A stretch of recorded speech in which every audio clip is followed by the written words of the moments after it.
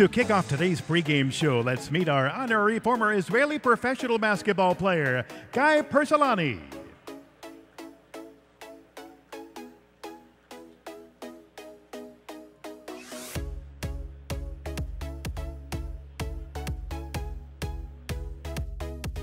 Guy Persolani.